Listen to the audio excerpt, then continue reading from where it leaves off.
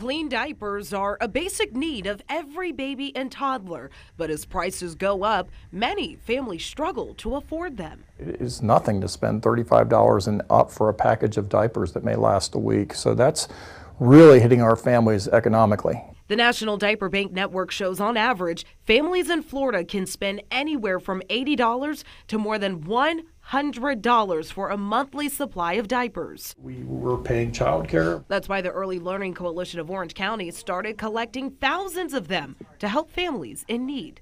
The goal this year is 15,000 because the need is there. Uh, we have many, many families in this community living below the level of poverty.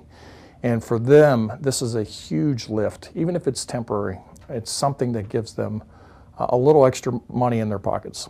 And it's not just diapers that are really expensive. The coalition doesn't want you to forget about toddlers as well. That's why they're collecting these pull ups too. Recognizing that families are struggling just like maybe we did when we were younger, and it's our time to give back and to help them. As of Monday, the coalition says it collected close to 7,000 diapers, and they hope the community will step up to help them reach their goal. It's our time to be able to make sure that a basic need is met so that maybe the families can do something else more fun with their kids with that money. In Orange County, Christina Watkins, WESH 2 News. Now, the last day to drop off donations is this Saturday. The coalition will deliver them to the Central Florida Diaper Bank. To find more information on the diaper drive, just head to our website, wesh.com.